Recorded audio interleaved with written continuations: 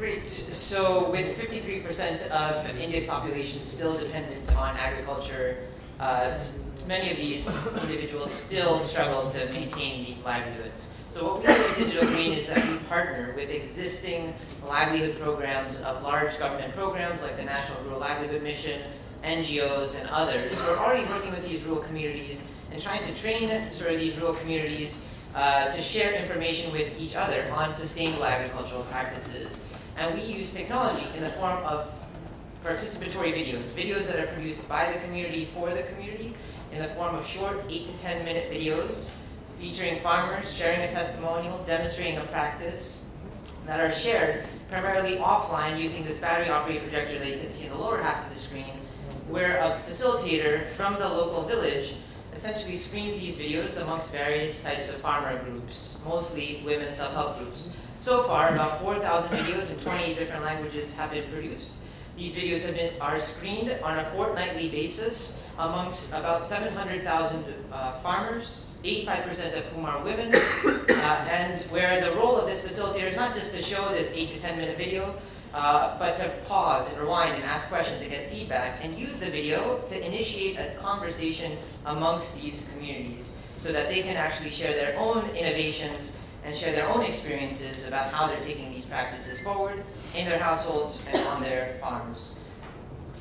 As these videos are being shown, data is captured by these village facilitators on who watched what videos, what questions these individuals expressed, and uh, what practices did these individuals actually apply or not apply afterwards. Now that we have a database about of 700,000 odd individuals, each of whom are watching about one video every two weeks, this is a pretty large uh, and useful database to be able to mine so that you can see, for instance, what's the most popular video in a pop particular place, or what's the least popular video in a particular place. In addition, we capture all this qualitative feedback as well. Uh, that helps to inform the production of new videos based on frequently asked questions, and allows for these videos to be shared across various geographies. The number,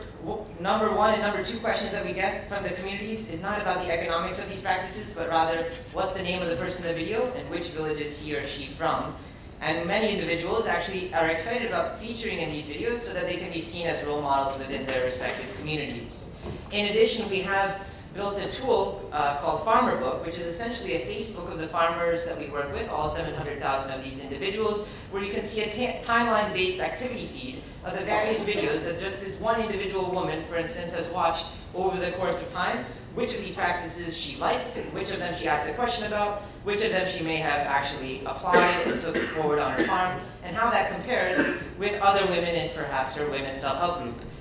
As sort of we're seeing this massive urbanization of India, we're also trying to see how we can connect these rural individuals with urban middle-class folks who generally are, on, are very well connected on places like Facebook. And so we built a game on Facebook called Wonder Village, which is like uh, Farmville and Cityville, and you can build a virtual village economy with your Facebook friends, but along the way you have to build this village together with a virtual community who are the actual farmers on FarmerBook to kind of bring together these rural communities together with these online urban communities in a fun and educational sort of way. I guess the main thesis of all of our work is in the last 10 years that we've been doing it across nine states in India and about 9,000 villages with these uh,